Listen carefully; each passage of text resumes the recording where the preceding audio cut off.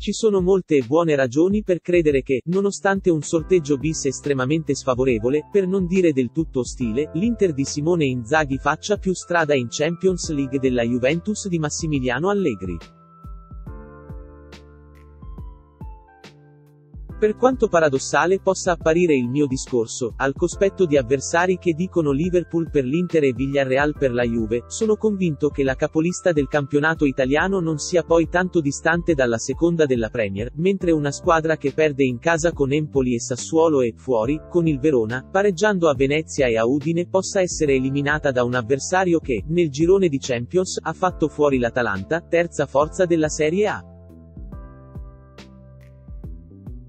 Gli azzeccagarbugli dei pronostici sottolineano come il Villarreal sia al tredicesimo posto nella Liga, tuttavia ignorano che la vocazione del Villarreal è la stessa di Simone Inzaghi, sono fatti entrambi per le coppe, sanno come affrontare certe partite, sanno quali tasti toccare con i calciatori, hanno una rosa vasta o complementare, conoscono il valore aggiunto delle cinque sostituzioni.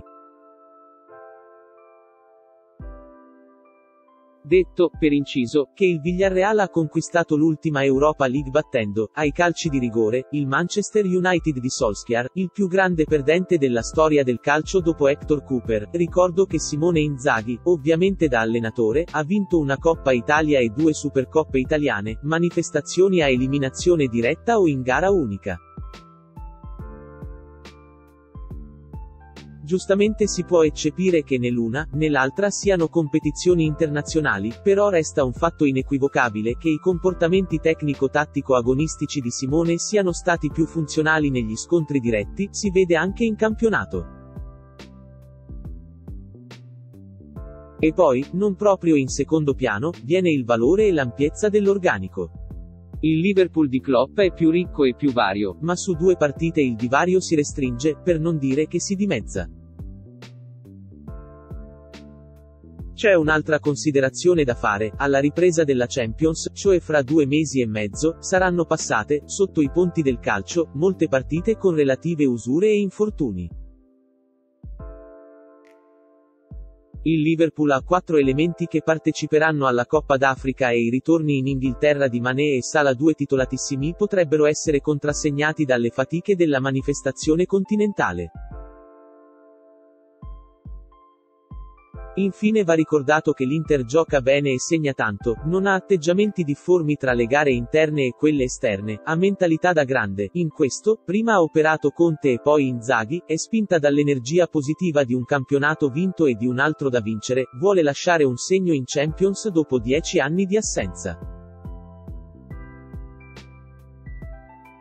Per contro, la Juventus avrebbe difficoltà contro chiunque. Sporting Lisbona, primo estratto, poi cancellato, o Villarreal, la differenza, in peggio, la fa sempre la squadra bianconera, al di là delle motivazioni sportive o delle tensioni psicologiche, prevale un allarmante deficit tecnico a centrocampo, una stitichezza sotto porta e una perforabilità difensiva poco sintonica con la storia della squadra e della società.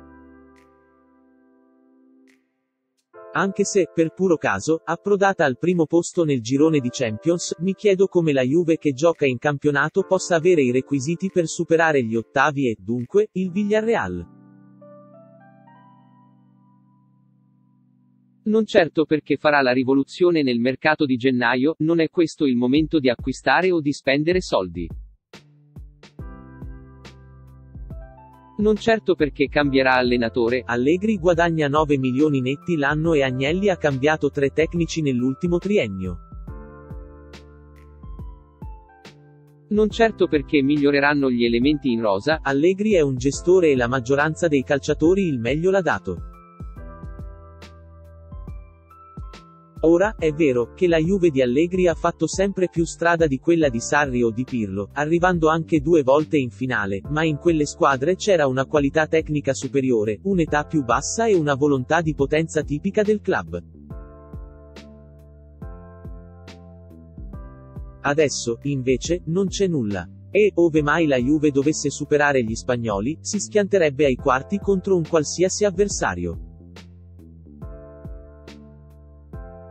Più facile che passi l'Inter. Perché è una squadra, perché ha motivazioni fortissime, perché non si farà soggiogare dal nome del Liverpool. E perché Simone Inzaghi si sta rivelando il migliore allenatore italiano della stagione.